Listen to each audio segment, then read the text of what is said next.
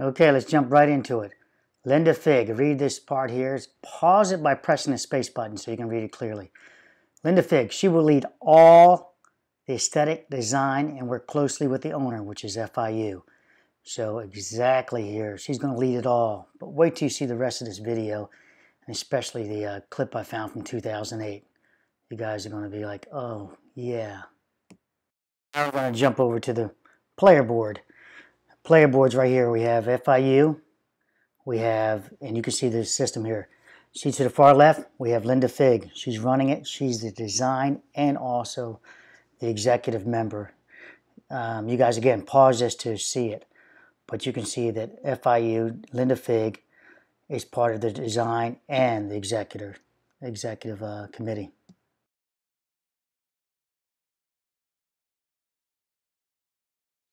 So apparently, Linda Figg is 100% liable also. She's got some her hand on this.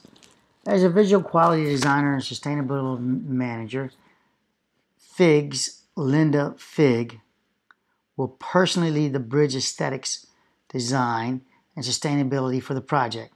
Linda's passion is bridge aesthetics and sustainability.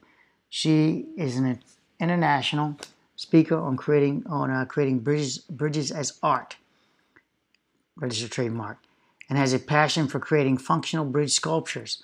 She worked closely with the FIU, the design team, shareholders, and agencies to ensure that the every detail and thoughtful is thoughtfully, carefully, and fully addressed. The cornerstone of her bridge designs are that they are, are that every detail matters. Yeah, sure thing. Sure thing. So all everybody who says it's a woman's bridge now, this locks that in, doesn't it? Allow me to go ahead and surprise you guys with a little something.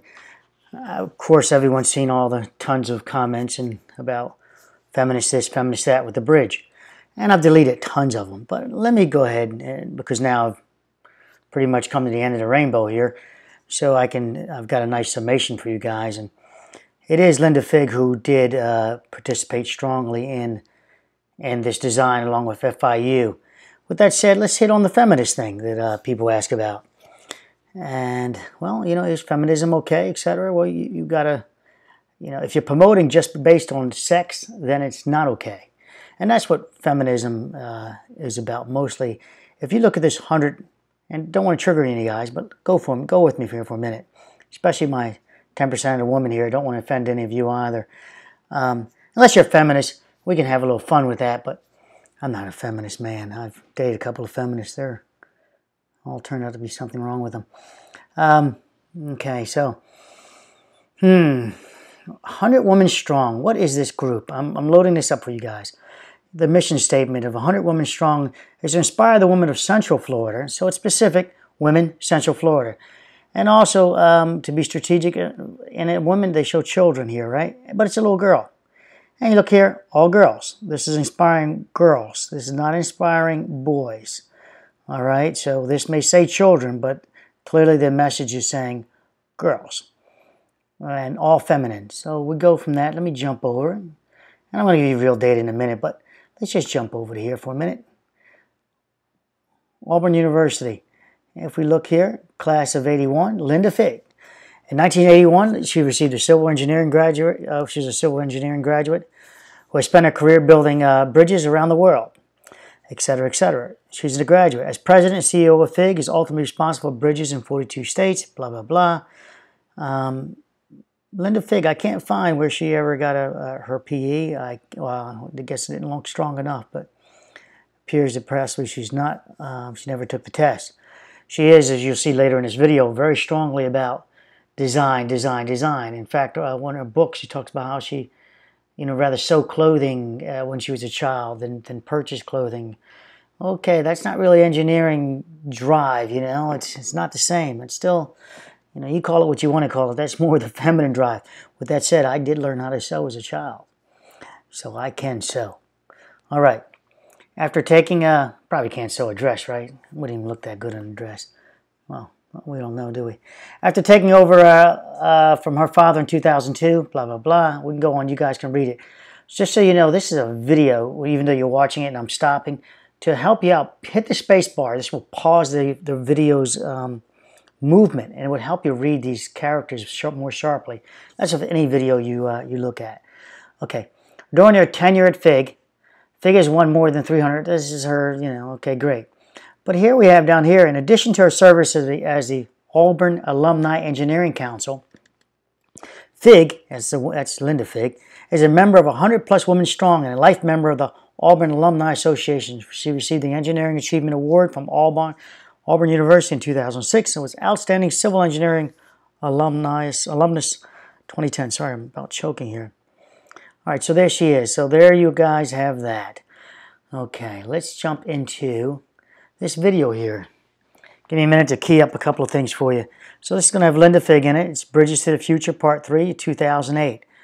And let's see if I can jump to 928. Let's see what we've got here first. 928. This is going to be Linda Figg talking about the structures need to last. They need to have redundancy, um, which is a slap in the face, right? Here we go. Oh, I'm going to to change my uh, mic on this, I think. I don't think it's going to play where we can hear it. And I might lose the uh, audio. Side of things. They tie together. Well, Linda, you you, you uh, design bridges basically for a living. Yes. I think actually that's a good question. What, what what do you think the bridge of 2028 will look like?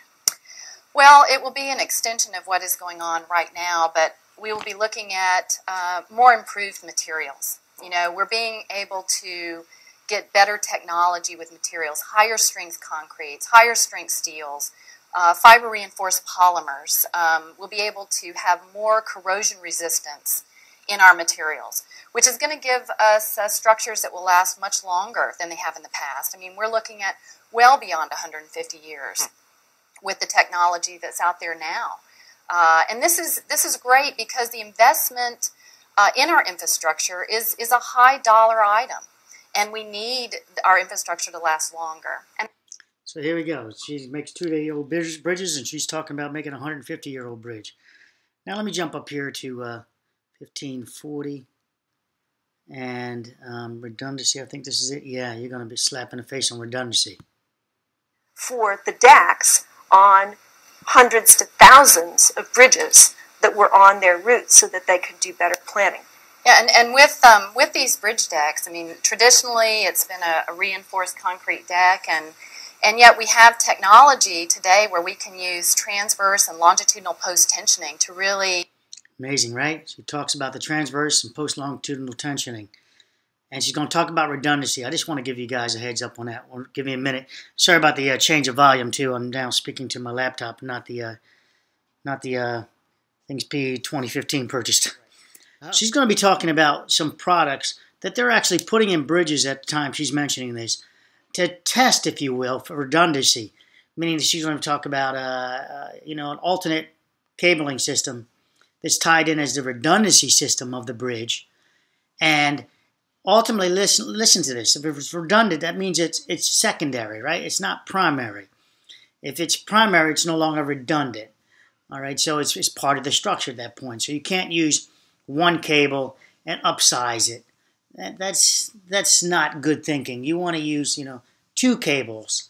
You know, and each one is that's redundancy. The same cable means if the one cable fails, so what you upsize it, you've got the redundancy failing at the same time as the as the primary source of uh, of supports.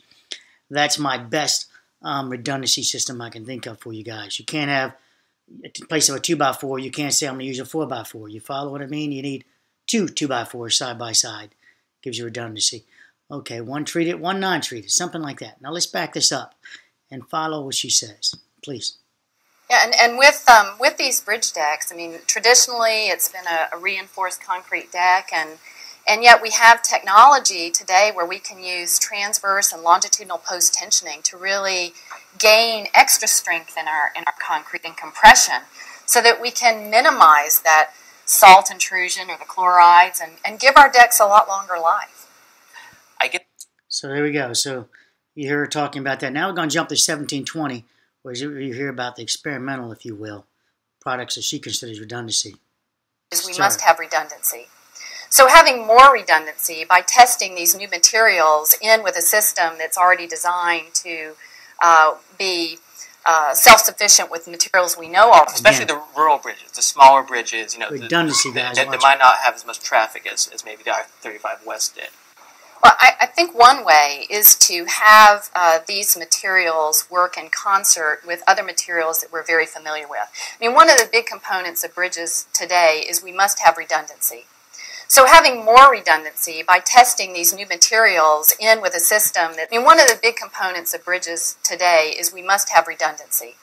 So having more redundancy by, I mean, one of the big components of bridges today is we must have redundancy.